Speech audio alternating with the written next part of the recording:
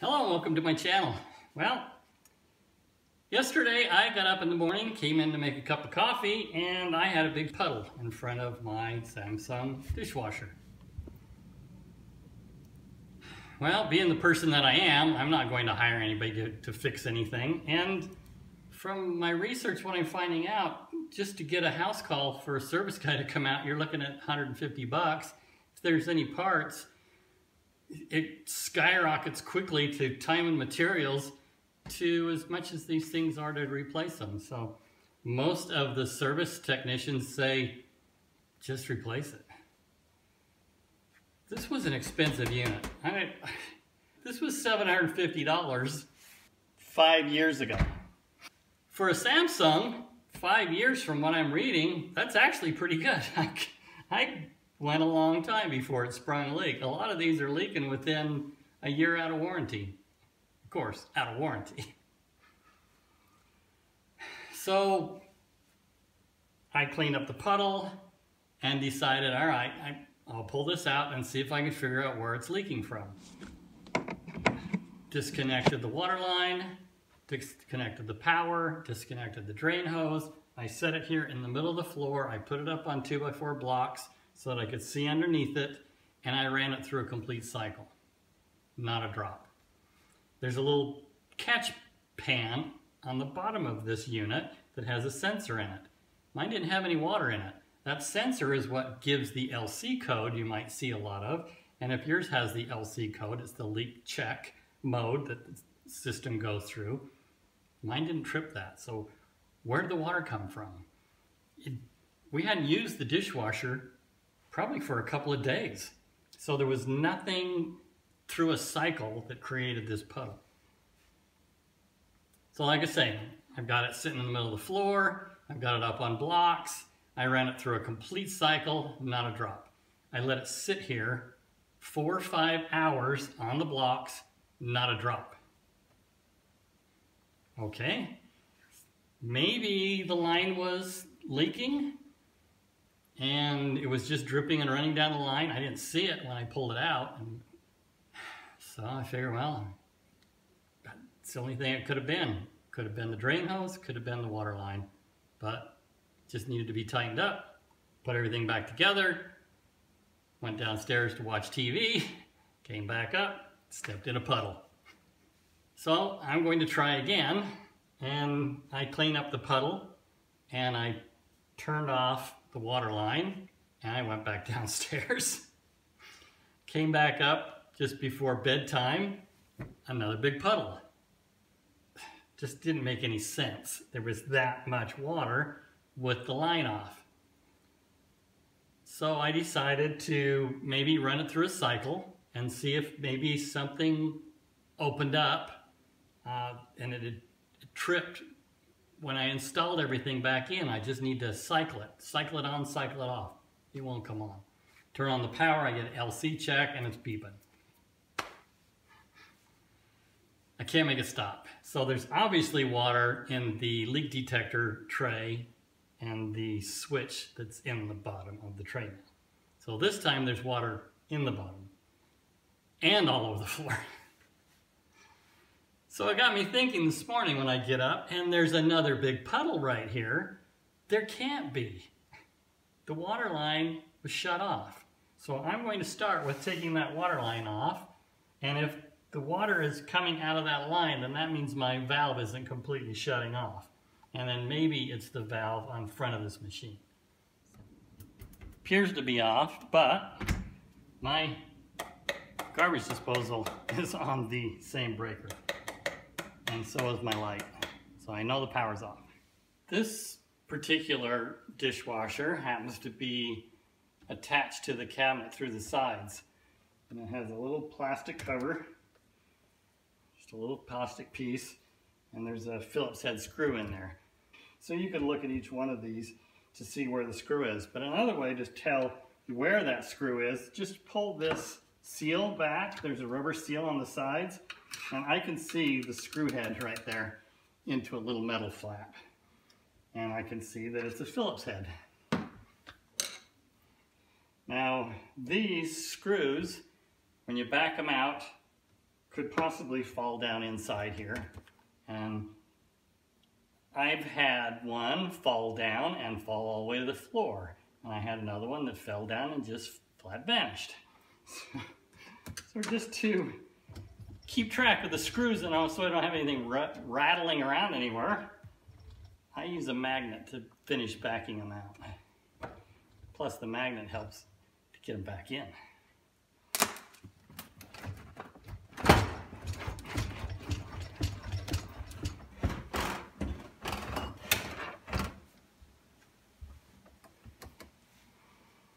This has to snake around the back as well as the hose. So depending on whether you disconnect the hose from this valve or from the front. I disconnected the front here because I wanted to see if it was leaking.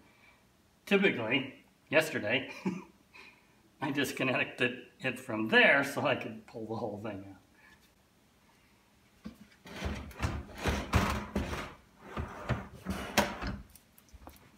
Now, doing my research, I've heard that people are taking this side panel off, putting a little turkey baster in there and sucking all the water out of that bottom tray. Well, that's if you're just getting a little bit of condensation and moisture that's getting into that bottom tray and, and tripping the sensor. No reason for me to do that here. As much water as I'm getting underneath, there's definitely a leak. But now this puddle is forming again. And like I mentioned before, this has been turned off for 24 hours. Where's this water coming from? So it's got to be water that's settled in the bottom of this machine or in the pump or something like that. So there is water dripping out from under this tray. Remove this tray, there's little clips around the edges.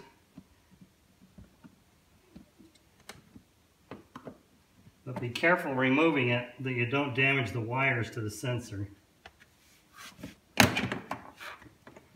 There's the sensor. And there's the moisture that's goofing up my sensor. Let's get that sensor out of the way before I damage it. When I was looking underneath this machine yesterday, before I pulled it out the first time, the moisture was right here. So it was leaking somewhere in this area over the edge of that tray. The tray didn't have water in it. So just before I pulled this out, there was quite a puddle there. If there was anything leaking from this pump, I would be expecting to still see some moisture there. I'm just not seeing anything. Sometimes this catch basin where the pump and everything goes in, there's a seal around that. And this is a stainless steel bowl, so that seal can break loose. And it lets grime and gunk come down through it. And I'm not seeing anything around that seal, any signs that that seal leaks. I'm tempted to just start removing everything, but I also suspect this valve might be leaking on the opposite side, whatever trips that valve to let the water into the machine. That's possible as well. I'm not feeling any moisture on the back side of this area. There's a lot of tubes and hoses that go into the to the jackets and the moving parts where the water is sprayed all inside. There's an access panel to the back side of that. I'm going to stand this back up, take off that access panel and see if I can see anything inside of there. I do not see any possibility of moisture that is leaked in this area with the exception of right in here. Maybe there was a little bit of condensation that dripped down the back of this and, and left a little bit of residue, but it's so dry in there, I just don't think it was from this particular puddling problem. All right, I've got it freestanding. I've got everything hooked up. Check the water line, no leaks. If you're doing this, be really careful with your, your power supply now that it's exposed. I checked it all. I made sure nothing can short out. I'm going to flip the breaker on, run this thing through a cycle, and hope for the best. Okay, so far so good. It's powering up. Everything looks normal. No LC code. I'm going to run it through a normal cycle. Hit the start button. Let's see what happens.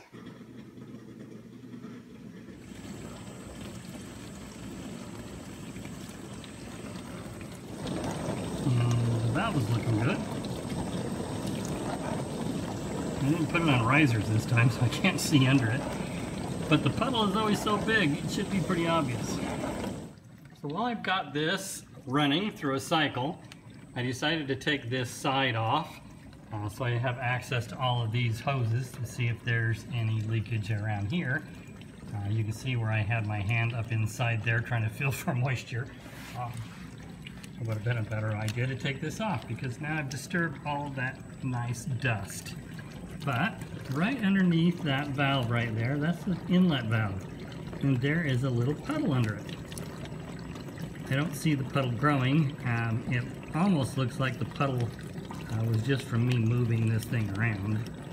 So I'm going to get a paper towel in there and dry it and then see if that drips or reoccurs. And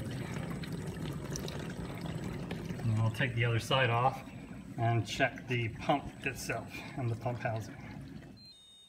Okay, now that it has come to an end and all the water is out of the tank, this was a great test to check and look through everything. Uh, there is a piece there. I need to check and make sure that is sealed.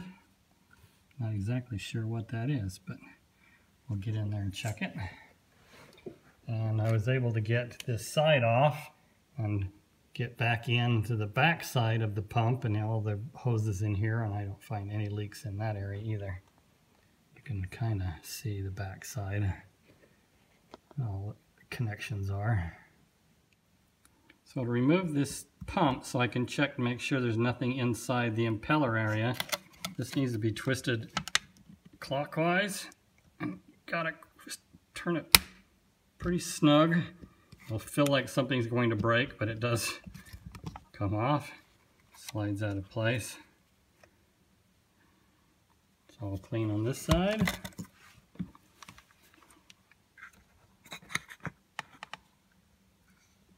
All clean on that side.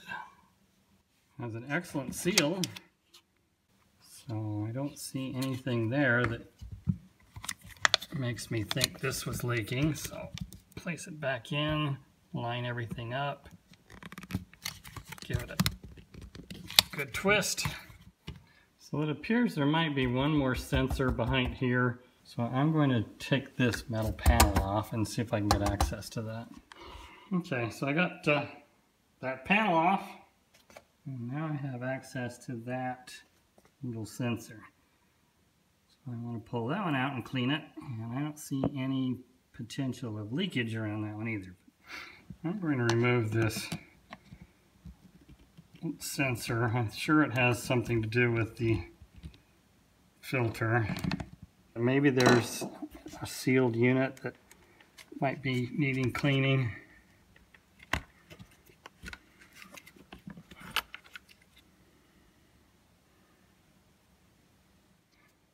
Make sure you get the seal back on.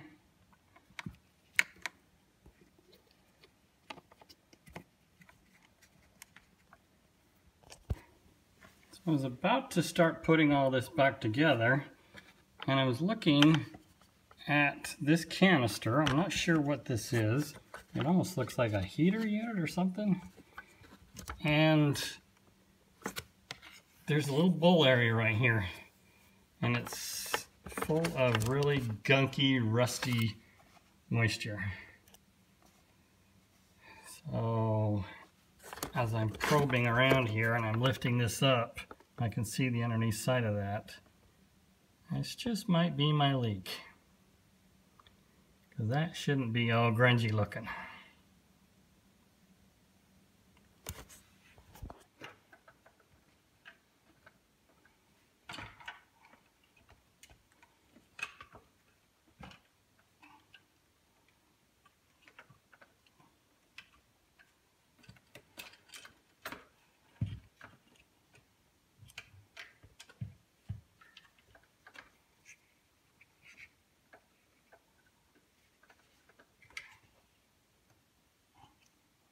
Okay.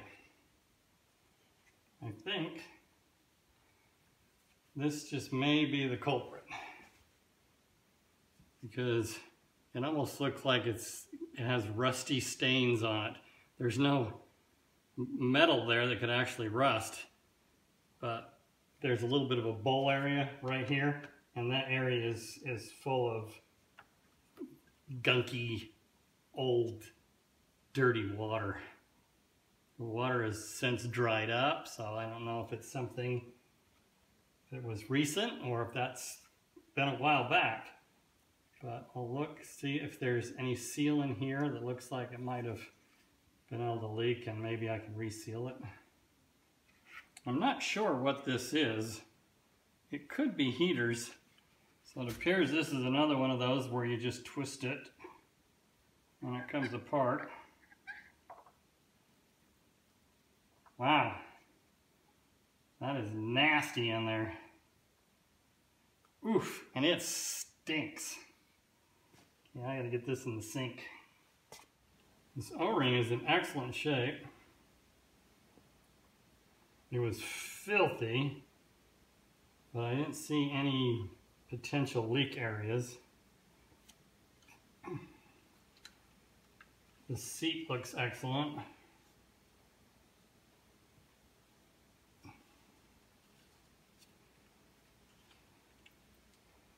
So this goes that way. This goes this way. All right. I wish there was a way I could pressure test this.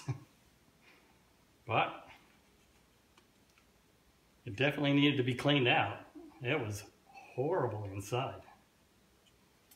Okay, so there's a connection on the back.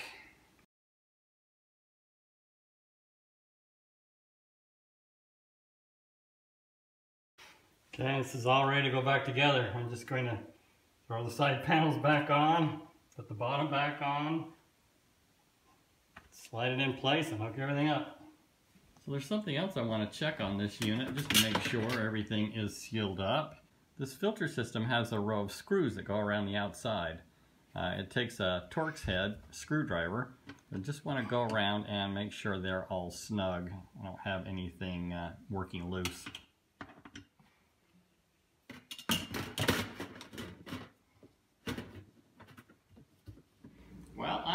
Happy to report that it's been a few days and there has not been any surprise puddles underneath the dishwasher.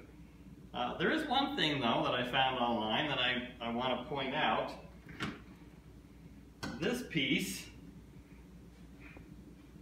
they have a tendency to leak and there's a seal in there and it has something to do with the steam and how it cycles and, and is in the drying process.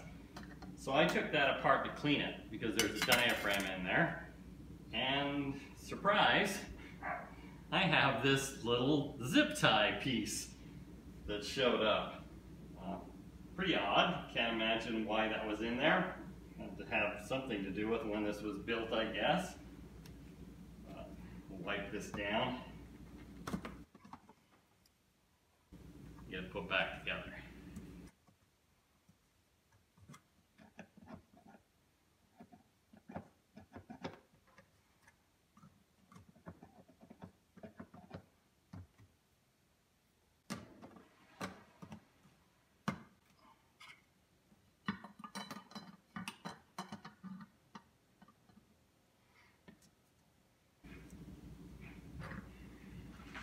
Thank you for watching this episode. Uh, another one of the unexpected projects taken care of. Don't exactly know why it was leaking, but taking everything apart, cleaning all the seals, putting it back together, you can see, mean, if you're having this kind of an issue, there's a pretty good possibility you could do the same thing and save a fairly expensive unit. No reason to be running out and buying another one or calling a service guy to come out. You can do it yourself. Thanks again for watching. Goodbye for now.